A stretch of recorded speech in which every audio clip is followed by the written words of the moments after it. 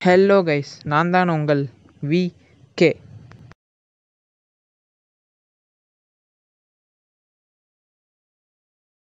To அவர் channel இன்னைக்கு நம்ம எதை பற்றி பார்க்க போகிறோம் அப்படின்னு பார்த்தீங்கன்னா நம்ம மாடு வந்து கண்ணு போட்டுருச்சு. எல்லாத்துக்கும் தெரியும். நம்ம மாட்டுக்கு வந்து கூழ் காய்ச்ச போகிறோம் கைஸ் அதுதான் இந்த வீடியோவில் நம்ம பார்க்க போகிறோம் இந்த வீடியோ ஃபுல்லாக பாருங்கள் அப்போ தான் நாங்கள் எப்படி கூழ் காய்ச்சுறோம் அப்படிங்கிறது வந்து உங்களுக்கு நல்லா தெரியும். ஓகே கைஸ் வீடியோக்குள்ளே போகலாம் கைஸ் ஃபஸ்ட்டு பார்த்தீங்கன்னா ஒரு பேசா எடுத்துக்கோங்க. அடுப்பு மேலே வச்சுட்டு ஒரு மூன்றரை டப்பா தண்ணி ஊற்றணும் கைஸ் இந்த பேசாவில் மூன்றரை டப்பா பாருங்கள் கைஸ் ஃபஸ்ட்டு ஒரு டப்பா ஊற்றியாச்சு அடுத்து ரெண்டாவது டப்பா ஊற்றியாச்சு அடுத்தது பாருங்கள் மூணாவது டப்பா. இப்போ வந்து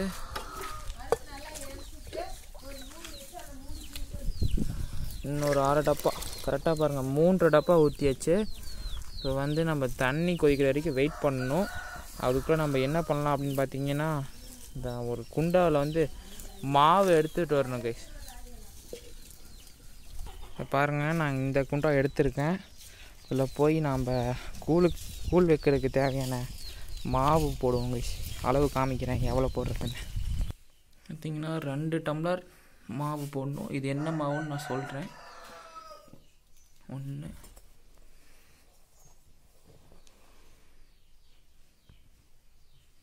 ரெண்டு. ரெண்டு டம்ளர் போட்டாச்சு. இப்போ நம்ம போய் இதுக்கு ஒரு அரை டப்பா தண்ணி ஊற்றணும் கைஸ் இப்போ. சரி என்ன மாவு அப்படின்னு பார்த்தீங்கன்னா கம்பு ப்ளஸ் ஆரியம். ரெண்டையும் கலந்து அரைச்ச மாவு தான் கைஸ் இது. கூழ் வைக்கிறதுக்கு இதுதான் நாங்கள் எப்பயும் பயன்படுத்துவோம். நீங்கள் வேணும்னா நீங்களும் அரைச்சிட்டு வந்து யூஸ் பண்ணுங்க கைஸ் உங்கள் மாடு கன்று போட்டுச்சுன்னா. பாருங்கள் பாருங்க ரெண்டு டப்பா மாவு போட்டாச்சு. டப்பா இந்த ரெண்டு டம்ளர் மாவு போட்டாச்சு இந்த குண்டால். அடுத்தது பார்த்தீங்கன்னா அரை டப்பா தண்ணி ஊற்றணும் இதில். அரை டப்பா தண்ணி ஊற்றிட்டு பார்த்தீங்கன்னா நல்லா அலாசிடணும் கட்டி பிடிக்காமல் இருக்கணும்ல. நல்லா அப்படியே அலாசிட்டே இருக்கணும். எப்படி அலாசுறேன்னு பாருங்கள் ரொம்ப நல்லா அலாசிட்டு இருக்கணும் கைஸ் நீங்களும்.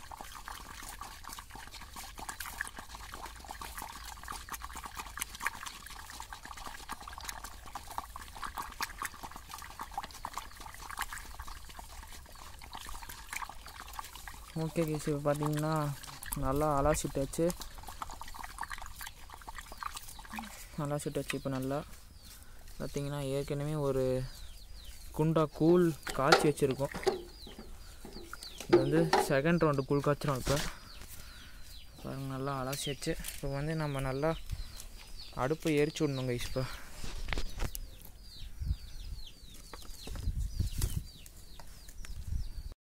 இப்போ பார்த்தீங்கன்னா விறகுலாம் நல்லா வச்சாச்சு. பாருங்கள் நல்லா அடுப்பு எப்படி எரியுதுன்னு பாருங்கள் தண்ணி வந்து நல்லா கொதி வரணுங்க ஈஸ் அது வரைக்கும் நம்ம வெயிட் பண்ணணும். வந்து நாம் ஒரு குண்டாவை எடுத்து மூடி வச்சிடலாம் கைஸ் அப்போ தான் வந்து பார்த்திங்கன்னா தண்ணி வந்து டக்குன்னு கொதிக்க வரும் கைஸ் உள்ளே தள்ளி விட்ருவோம் வரவெல்லாம் இப்போ பார்த்தீங்கன்னா எப்படி எரியுது பாருங்கள் அடுப்பு. நிறைய பேர் மாடு வச்சுருக்கவங்களாம் பார்த்தீங்கன்னா காட்டில் தான் கைஸ் வச்சுருப்பாங்க. அதுவும் பார்த்தீங்கன்னா அடுப்பு அங்கேயே வச்சுருப்பாங்க. அதே மாதிரி தான் நாங்களும் காட்டில் ஒரு அடுப்பு பாருங்கள் கல் கூட்டி வச்சுருக்கோம். அதில் தான் வந்து கூழ் காய்ச்சுவோம். பார்த்திங்கன்னா நிறைய பேர் வந்து எந்த மாடு வந்து கண்ணு போட்டுச்சு அப்படின்னு தெரியாது. இப்போ நான் அதை காமிக்கிறேன் பாருங்கள் ஆனால் நிறைய பேர் இப்போ தான் புதுசாக நம்ம சேனலில் இருக்க வீடியோ பார்த்துட்ருப்பாங்க பாருங்கள் இந்த மாடு தான். நம்ம மயில மாடு. இதுதான் கைஸ் கண்ணு போட்டிருக்கு. இதோட ஃபஸ்ட்டு கண்ணுக்குட்டி எதுன்னு பார்த்தீங்கன்னா இதோ பாருங்கள் இந்த காராம்பஸ் கண்ணுக்குட்டி இது தான் இந்த மயிலா மாட்டோட ஃபஸ்ட்டு கண் அதுக்கு அடுத்தது பார்த்தீங்கன்னா தான் இப்போ போட்டிருக்கிற இந்த நம்மளுடைய கண்ணுக்குட்டி கேஸ் இதுதான். இப்போ போட்டிருக்க கண்ணுக்குட்டி இதுதான். பாருங்கள் எப்படி இருக்குன்னு க்யூட்டாக அழகாக பாருங்கள் முயல் குட்டியாட்ட காதெல்லாம் தூக்குது பாருங்கள்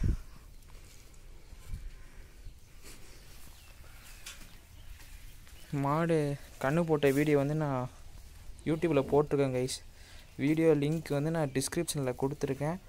போய் செக் பண்ணி பாருங்கள் ஓகே கைஸ் நம்ம வந்து இப்போ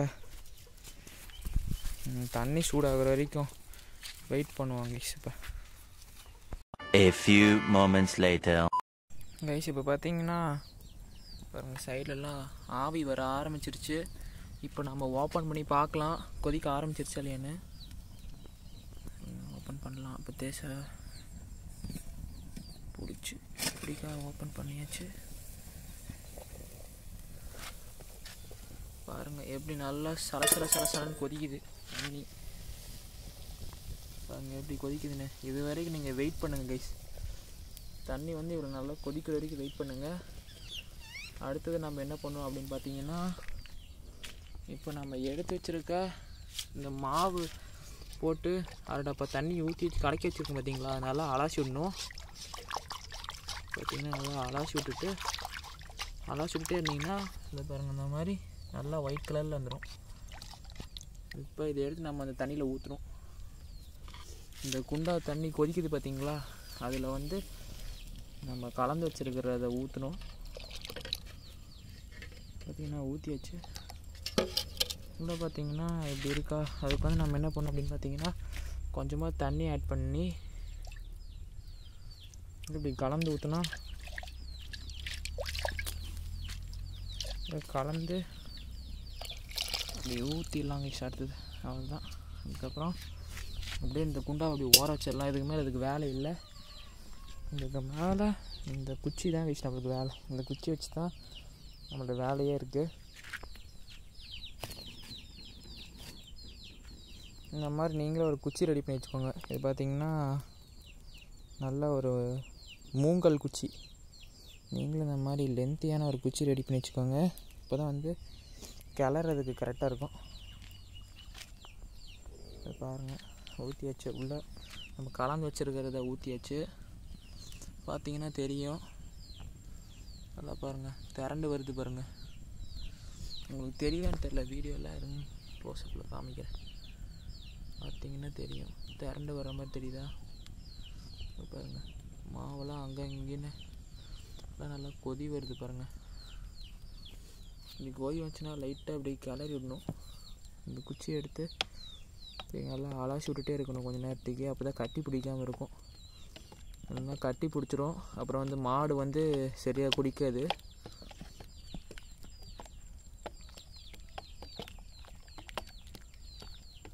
நல்லா கிளறி விட்டே இருங்க. கொஞ்ச நேரம் கிளறி விட்டு குச்சி எடுத்துருங்க வெளியே. இப்போ பார்ப்போம் என்ன ஆகுதுன்னு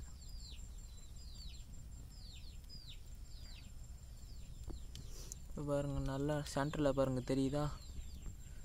அப்படியே மாவு பாருங்கள் எப்படி வருதுன்னு.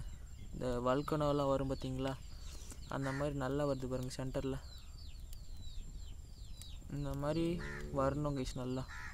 வந்ததுமேட்டு லைட்டாக கிளறி விட்டுட்டு லைட்டாக அந்த குச்சி வச்சு இப்படி அலாசி விட்டுட்டு என்ன பண்ணணும் அப்படின்னு பார்த்தீங்கன்னா அப்படியே ஒரு ஒயிட் கலரில் அப்படியே லேயராட்ட வந்து அப்படியே பொங்கி வர மாதிரி வரும் கைஸ் அப்போ பார்த்தீங்கன்னா அடுப்புலேருந்து இறக்கி வச்சிடலாம். நம்மளோட கூழ் நம்மளோட கூழ் வந்து ரெடி ஆயிடுச்சு அது ஆறுனதுமேட்டு பக்கெட்டில் ஊற்றி மாட்டுக்கு வைக்கலாம் கைஸ் அவ்வளோதான் கூழ் ரெடி நான் மாட்டுக்கு வைக்கிறேன். அந்த வீடியோவை நான் அதில் அட்டாச் பண்ணுறேன் பார்த்து பாருங்க கைஸ் எப்படி விரும்பி குடிக்குது அப்படின்னு பாருங்கள் ஃபஸ்ட்டு நம்ம இந்த கூழ் வந்து பொங்கி வருதுன்னா என்னென்ன அப்படின்னு காமிக்கிறேன் பாருங்கள் இல்லை இந்த வீடியோவில் காமிக்கிறேன். பொங்கி வர்றதுன்னா என்ன அப்படின்னு காமிக்கிறேன் பாருங்கள் இந்த கொஞ்ச நேரத்தில் பாருங்கள் எப்படி பொங்கி வருதுன்னு பாருங்கள் நம்ம பொங்கல்லாம் பொங்கி வரும் பார்த்தீங்களா பால்லாம் பொங்கி வரும்ல. அந்த மாதிரி வரும் கொஞ்ச நேரத்தில் பாருங்கள் இப்போ பாருங்க guys எப்படி ஃபார்ம் ஆகிருக்கு பாருங்கள் லேயர் மாதிரி. இந்த மாதிரி லேயர் மாதிரி ஃபார்ம் ஆகும் கைஸ் ஃபார்ம் ஆனதுமாரி பார்த்தீங்கன்னா பொங்கி வர மாதிரி வரும்.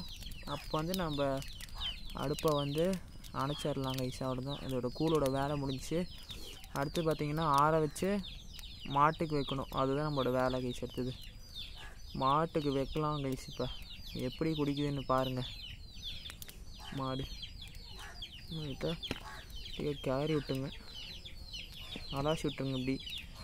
அலாசி விட்டுட்டு அடுப்புலேருந்து கீழே இறக்கி வச்சிடலாம் கைஸ் இப்போ பாருங்கள் அடுப்புலேருந்து கீழே இறக்கி வைக்கிறேன் பாருங்கள் கைஸ் இப்போ பார்த்தீங்கன்னா அடுப்புலேருந்து கீழே இறக்கி விட்டாச்சு. இப்போ பாருங்கள் லைட்டாக அலாசிட்டு காமிக்கிறேன். கூழ் எப்படி இருக்குதுன்னு பாருங்கள் நீங்கள் வந்து பார்த்தீங்கன்னா சூடாக இருக்குது இருக்கு நான் பக்கெட்டில் இருக்க கூழ் காமிக்கிறேன். இது வந்து அந்த லேயர் போக மாட்டேங்குது. பாருங்கள் பக்கெட்டில் இருக்க கூழ் பாருங்கள் எப்படி இருக்குதுன்னு. இது பார்த்தீங்கன்னா ஆரிச்சு இது வந்து மாட்டுக்கு வைக்கலாம். வைக்கிறத நான் வீடை எடுத்து இது கூட அட்டாச் பண்ணுறேன் பாருங்கள் மாடு எப்படி விரும்பி குடிக்குதுன்னு. இந்த மாதிரி நீங்களும் கூழ் நல்லா வச்சிங்கன்னா தான் மாடு நல்லா விரும்பி குடிக்கும் கைஸ் வீடியோவில் நீங்கள் பார்த்தீங்கன்னாவே தெரியும் மாடு எந்த அளவுக்கு வந்து விரும்பி குடிக்குதுன்னு பாருங்கள் நம்ம வச்ச கூலை பாருங்கள் ஃபுல்லாக வாய் எடுக்காமல் ஃபுல்லாக குடிச்சு முடிச்சிருச்சு வீடியோ எடுக்கிறதுக்குள்ள. பார்த்தீங்கன்னா அளவு சொல்ல மறந்துட்டேன். ஒரு கிலோ கம்புக்கு வந்து பார்த்திங்கன்னா ஒரு கிலோ ஆரியம் போடணும். இப்போ வந்து ஒரு மாடு தான் கண்ணு போட்டுச்சு அப்படின்னு பார்த்தீங்கன்னா ஒரு அஞ்சு கிலோ மாவு இருந்தால் போதும். அஞ்சு கிலோ மாவுக்கு பார்த்தீங்கன்னா நீங்கள் ஒரு ரெண்டரை கிலோ ஆரியம் ரெண்டரை கிலோ கம்பு. இதை போட்டு அரைச்சி வச்சுக்கிட்டிங்கன்னா அது வந்து கெட்டே போகாது. யூஸ் பண்ணிக்கலாம். ஒரு மேக்ஸிமம் பார்த்தீங்கன்னா ஒரு ஒரு வாரத்துக்கு வைக்கலாம். மாட்டுக்கூழ் இதுக்கு மேலேயும் வைக்கணும்னு விருப்பம் இருந்தால் வச்சுக்கலாம். ஒன்றும் தப்பு இல்லை.